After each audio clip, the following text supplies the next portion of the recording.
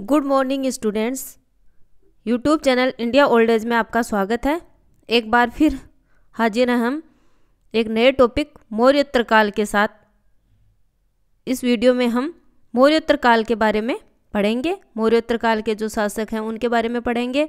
तो मौर्योत्तर काल का समय है एक सौ चौरासी ईसा पूर्व से तीन सौ उन्नीस ईस्वी, ठीक है? अब देखिएगा होता क्या है कि एक सौ चौरासी ईसा पूर्व में अंतिम मौर्य सम्राट बृहदर्थ की मृत्यु हो जाती है। अब बृहदर्थ की मृत्यु कैसे होती है? वो उसके ही सेनापति पुष्य मित्र ने उसकी हत्या की थी। बृहदर्थ के साथ ही क्या होता है कि मौर्य साम्राज्य का अंत हो जाता है। अब मौर्य साम्राज्य के बारे में हमने पहले काफ़ी कुछ पढ़ा। चंद्रगुप्त मौर्य, बिंदुसार, अशोक अशोक के विलेख शिलालेख, गुफा विलेख सब के बारे में हमने पहले पढ़ा है। और आप लोगों से एक बहुत ही महत्वपूर्ण बात कहनी है कि यदि आप लोगों ने हमारे YouTube channel India old age को सब्सक्राइब नहीं किया तो करें, ताकि आपको इतिहास से संबंधित कोई भी जानकारी हो चाहे कोई भी परीक्षा हो, उसमें आपको ये जानकारी मिलेगी मिलेगी। तो परीक्षा उपयोगी चीज़ें हम आपको यहाँ पे बताएँगे। तो देखिए, चलते हैं मौर्योत्तर काल में। मौर्य साम्राज्य की लड़खड़ाती हुई दीवार, ईसा पूर्व एक सौ सत्यासी में ढह गई।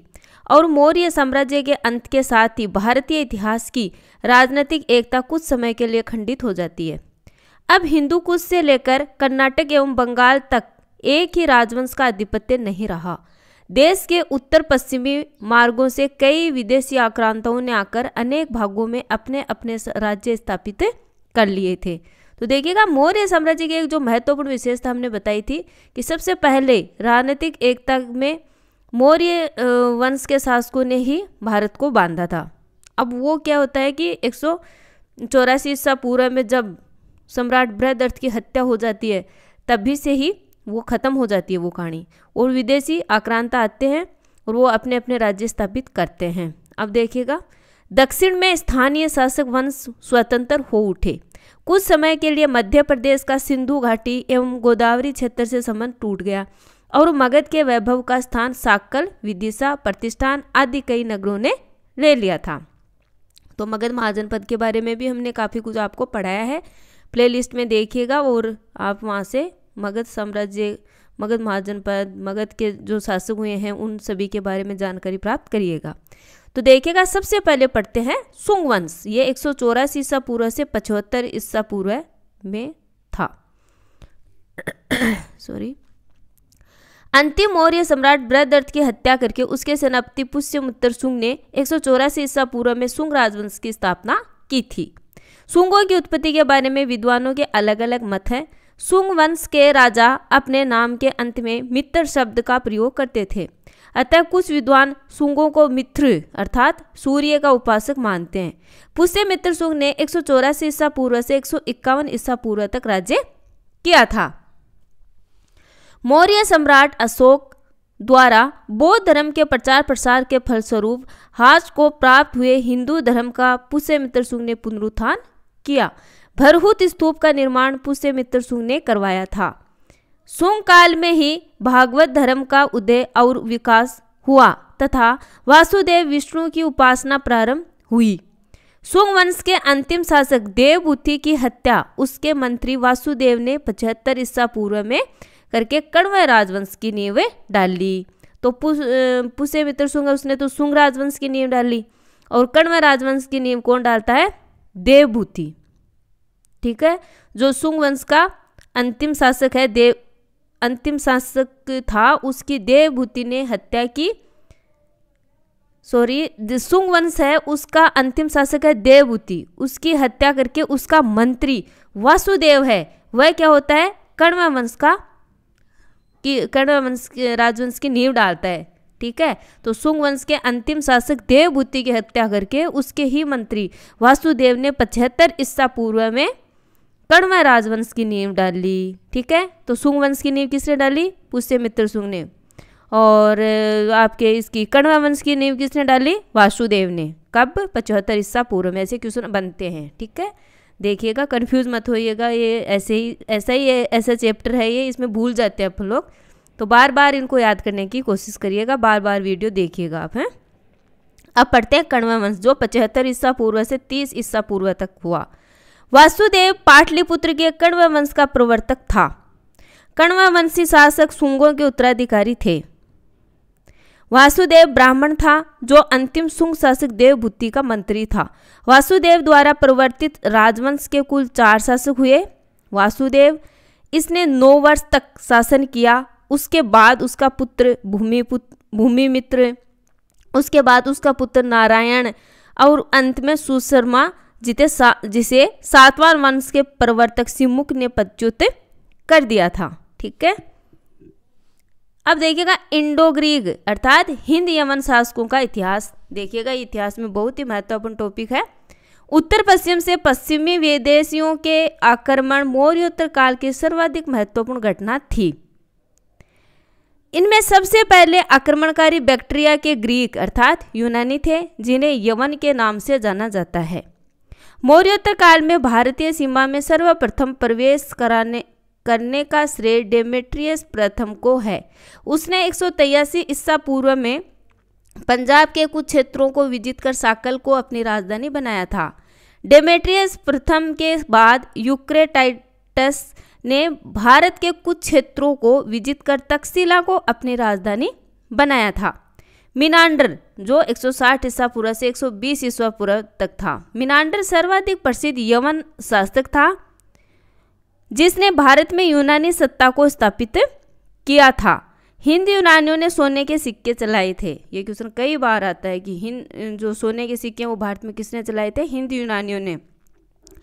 पार्थिया तथा बैक्टीरिया सेल्यूकस के साम्राज्य के दो प्रांत थे, सेल्यूकस के उत्तराधिकारी एंटीयोकस प्रथम, जो दो सौ इक्यासी से दो ईसा पूर्व था।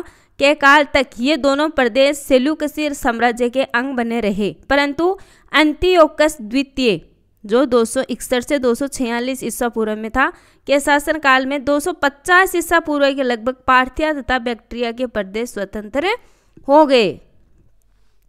पार्थिया के विद्रोह का नेता अर्सेक्स तथा बैक्टीरिया के विद्रोह का नेता डायोडोटस था। न तो अंत्योकस द्वितीय और न ही उसके उत्तराधिकारियों सेल्यूकस द्वितीय तथा सेल्यूकस तृतीय में से कोई इतना अधिक शक्तिशाली था कि वह इन विद्रोही प्रदेशों को अपने अधिकार में कर सके। अंततः अंत्योकस तृतीय, जो 223 से एक सौ ईसा पूर्व में शासक रहा, ने इन प्रदेशों को विद्रोही अधीन करने का प्रयास किया। परंतु अपने को असमर्थ पाकर उसने इन दोनों प्रांतों की स्वाधीनता स्वीकार कर ली। बैक्टीरिया के स्वतंत्र यूनानी साम्राज्य का संस्थापक डायोडोटस था। तो बैक्टीरिया के स्वतंत्र यूनानी साम्राज्य का संस्थापक कौन था?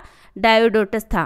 वह एक शक्तिशाली शासक था, जिसने सोगडिया से मार्जियाना तक के प्रदेश पर चिरकाल तक शासन किया। डायोडोटस की मृत्यु के बाद उसके अवैस्क पुत्र की हत्या कर यूथीडेमस नामक एक महत्वाकांक्षी व्यक्ति ने सत्ता हत्या ली थी। अब देखिएगा शक शासक आते हैं। ये भी बहुत ही इंपॉर्टेंट चैप्टर है। भारतीय स्रोत शकों को सीथियन नाम देते हैं। तो भारतीय स्रोत हैं जो भी, वो शकों को सीथियन नाम देते हैं। यमन शासकों के बाद शक भारत में आए। यमनों के बाद कौन आते हैं? भारत में शक आते हैं। चीनी लेखक शकों को सही लिखते हैं।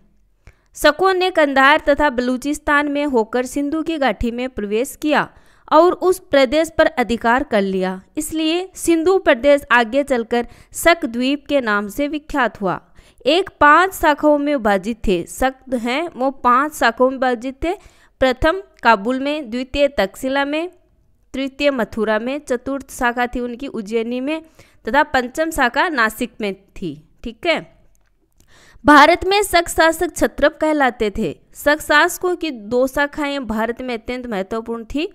तो भारत में जो शक थे, वो तो सीथियन कहलाते थे और शक शासक थे, वो छत्रप कहलाते थे। इनकी दो महत्वपूर्ण भारत में शाखाएँ थी, वो देखिएगा। प्रथम उत्तर छत्रप, जो तकसीला व मथुरा में थे। द्वितीय पश्चिमी छत्रप, जो नासिक एवं उज्जैनी क्षेत्र में थे, ठीक है? उज्जैनी में कादर्मक वंश शासकों का प्रतिष्ठित राजवंश था।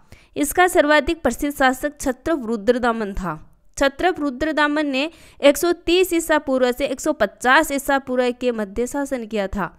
इस वंश का अंतिम शासक रुद्र सिंह तृतीय था। इसे गुप्त सम्राट चंद्रगुप्त द्वितीय विक्रमादित्य ने परास्त कर पश्चिमी क्षत्रपों को के राज्यों को अपने साम्राज्यों में विलीन कर लिया था।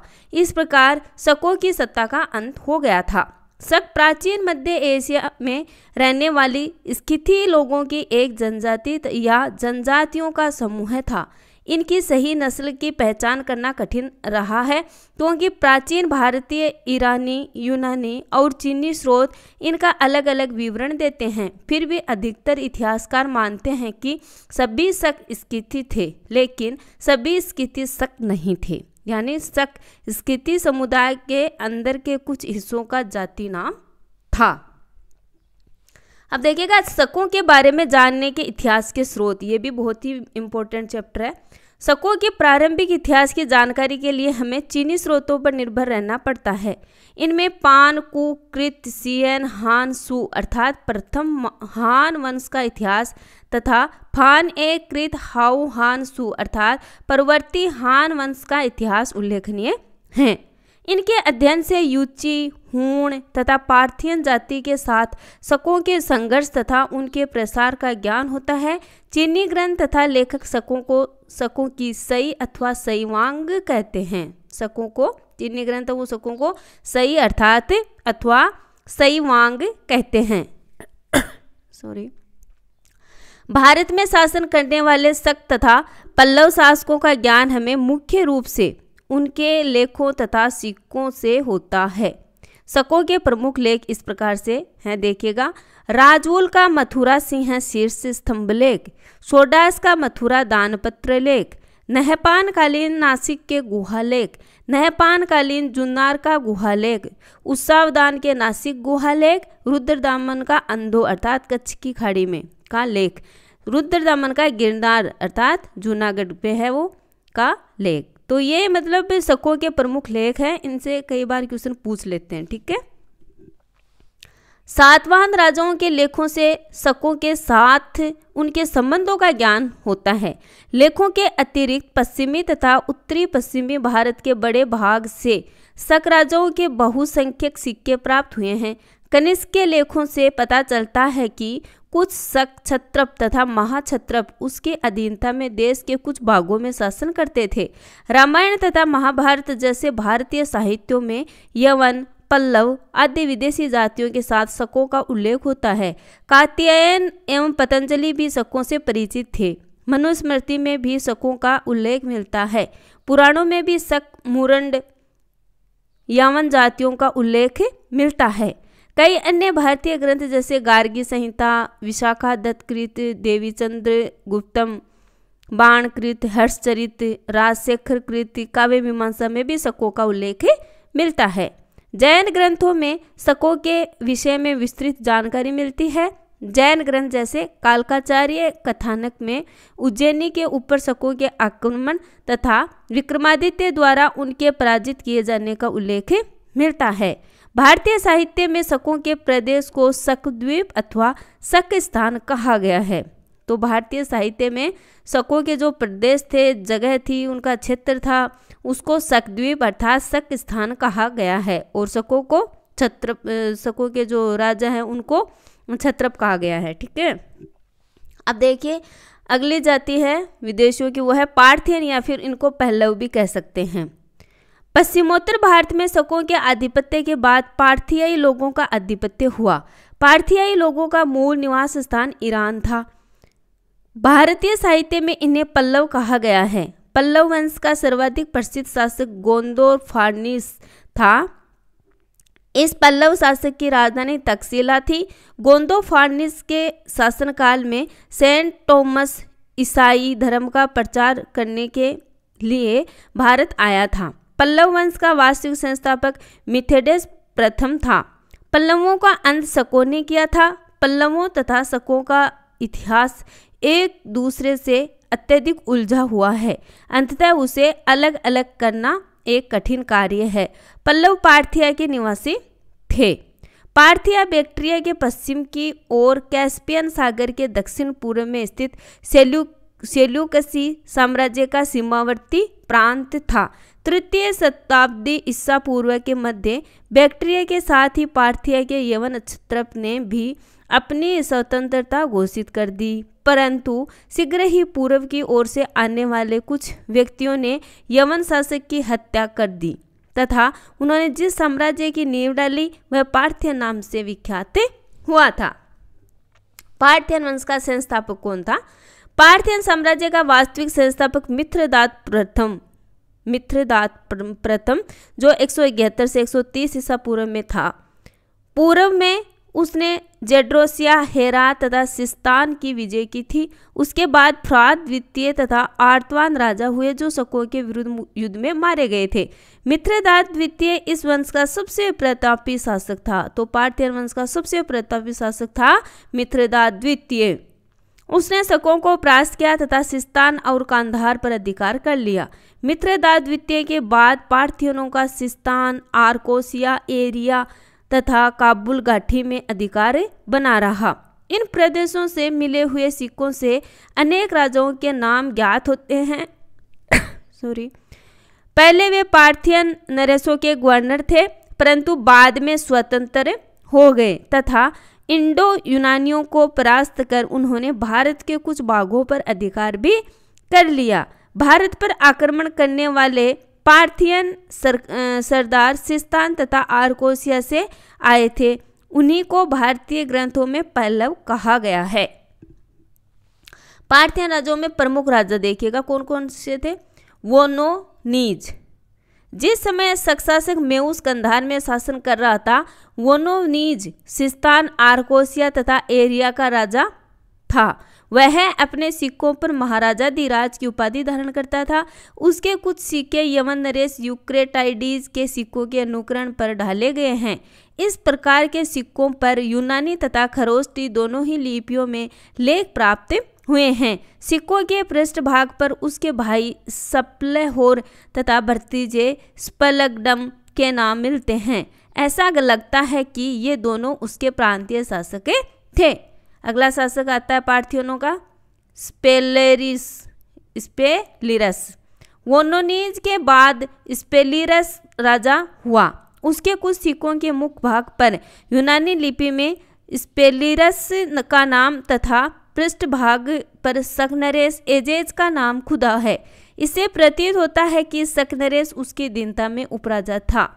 इससे पता चलता है कि पार्थियनों का तक्षशिला पर अधिकार था। गोंडो फर्नीज यह पार्थियन वंश का सर्वाधिक शक्तिशाली शासक था। इसके शासनकाल का एक अभिलेख तख्तेवाही, जो पेशावर ज़िले में स्थित है, प्राप्त हुआ है। जिस पर 103 की तिथि दी गई है। यदि इसे विक्रम संवत की तिथि स्वीकार किया जाए तो ऐसा निष्कर्ष निकलता है कि 103 माइनस सत्तावन छियालीस ईस्वी में राज्य ये कर रहा था। यह तिथि उसके राज्यकाल के 26वें वर्ष की है, अतः उसने 20 ईस्वी अर्थात छियालीस छब्बीस में शासन कार्य प्रारंभ किया था। गोंडो फर्नीज के सिक्के पंजाब, सिंध, कांधार, सिस्तान तथा काबुल घाटी में पाए गए हैं। इससे उसके साम्राज्य के विस्तृत होने की सूचना मिलती है। ऐसा लगता है कि शकों को प्रास्त कर उसने पंजाब तथा सिंध पर अधिकार कर लिया था। तकसीला उसकी राजधानी बनी थी। एस वर्मन एस्पवर्मन एस्पवर्मन जो पहले सकनरेस एजेस सेकंड की अधीनता में छत्रप था। अब गोंडो फर्नीज की दीनता स्वीकार करने लगा। ईसाई अनुश्रुति में उसे संपूर्ण भारत का राजा कहा गया है, जिसके शासनकाल में ईसाई धर्म का प्रचार सेंट टॉमस भारत आया था। प्रचार करने के लिए सेंट टॉमस वो भारत आया था। गोंडो फर्नीज के निर्बल उत्तराधिकारी इस काल के सिक्कों से दो राजाओं के नाम मिलते हैं, एबडिगेसस तथा पकोरिस। ये दोनों ही निर्बल शासक थे। इसके बाद कुषाणों ने भारत पर आक्रमण किया।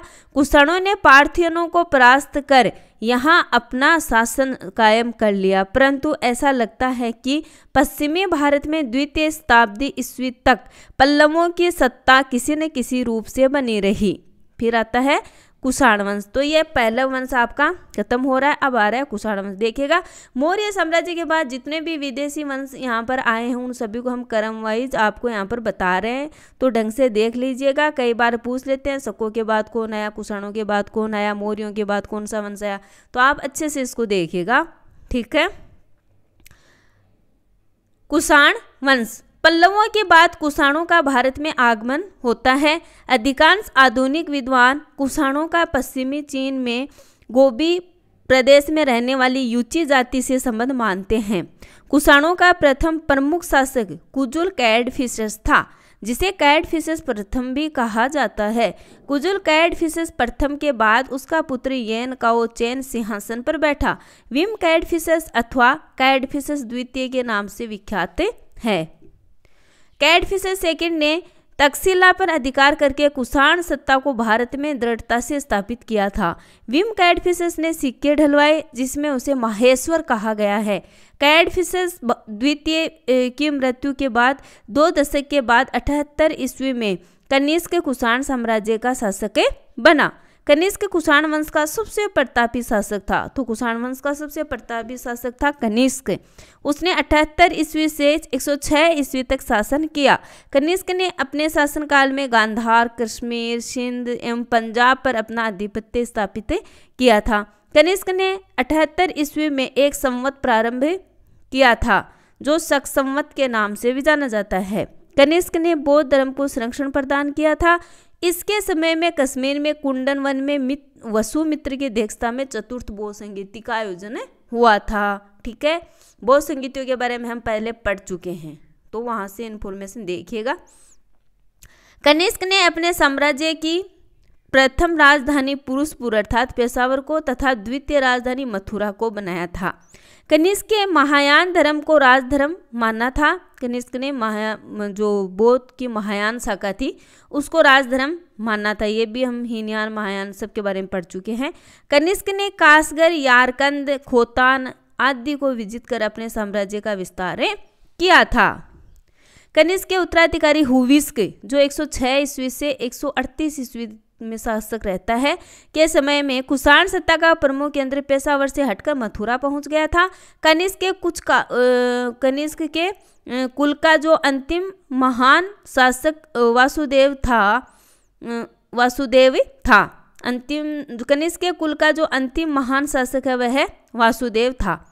कुषाण वंश के प्रारंभिक इतिहास की जानकारी के लिए हमें मुख्यतः चीनी स्रोतों पर निर्भर रहना पड़ता है। चीनी ग्रंथों में पान, कुकृत सी एन हान, सु तथा फान, ए, कृत, हाउ, हान, सु महत्वपूर्ण स्रोत हैं।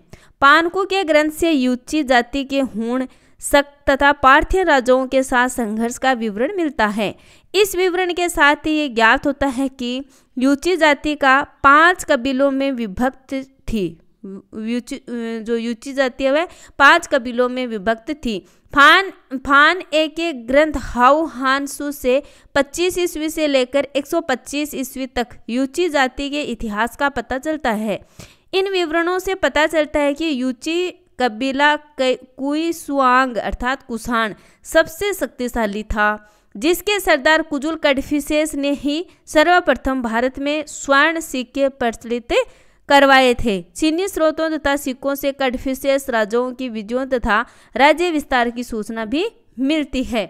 कनिष्क तथा उनके उत्तराधिकारियों का इतिहास में मुख्य रूप से तिब्बती बौद्ध ग्रंथों के चीनी अनुवाद तथा चीनी यात्रियों फायान एवं हुएनसांग के विवरण से ज्ञात करते हैं।